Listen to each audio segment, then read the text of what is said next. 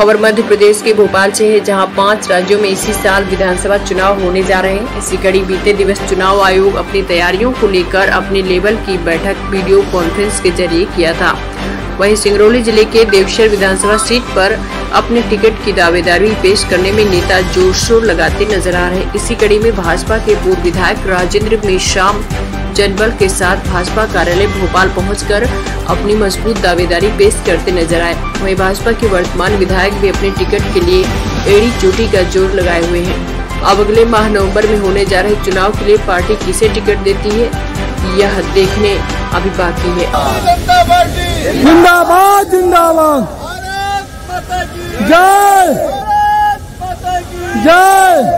हमारा नेता कैसा हो?